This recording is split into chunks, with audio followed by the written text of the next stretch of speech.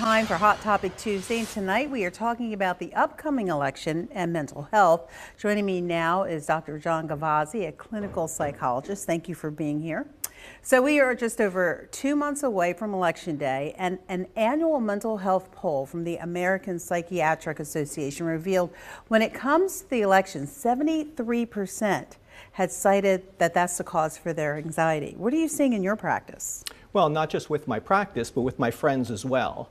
So anytime that you perceive something to be a threat, and for people, the election could possibly be a threat, whether it's ambiguity, not knowing what the future holds, or in fact that they're going to be harmed in some way, that the government will be radically transformed or people will lose their rights.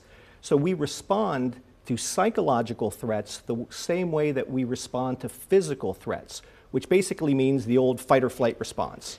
So we just get a deluge of adrenaline that goes through our system. And so that's what we're dealing with when we're dealing with stress. We're dealing with a lot of adrenaline going through our system. What are the signs you should look out for? Well, again, thinking about this as a massive adrenaline dump, we Americans have a hard time with sleep to begin with. Roughly 30% of Americans struggle with sleep.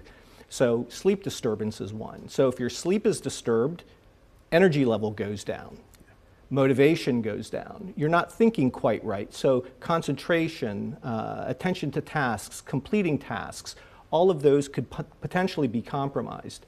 Some people eat to self-soothe.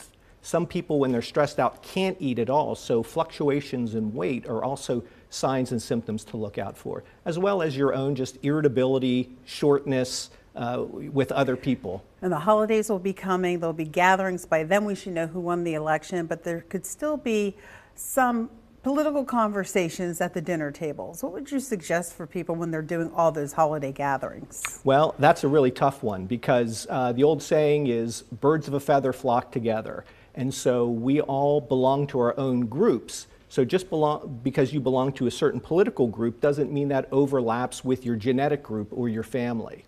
So there could be a lot of differences there. So uh, one way to deal with this is to set healthy boundaries. So talk to people ahead of time and say, hey, look, no politics at the table, or we're going to not focus on that this year. Uh, so that's one suggestion. If people still bring up politics, do not engage because no one has been able to change someone else's mind in a very heated discussion. Yeah, and real quick, what are some tips for us? Probably stay off social media. stay off social media, right do again all of your good self-care things. Get to bed at a regular time, eat healthy foods, exercise on a regular basis, and do a lot of diaphragmatic breathing. That helps. All right. Thank you, Dr. John Gavazzi, for being here with us tonight. We'll be right back.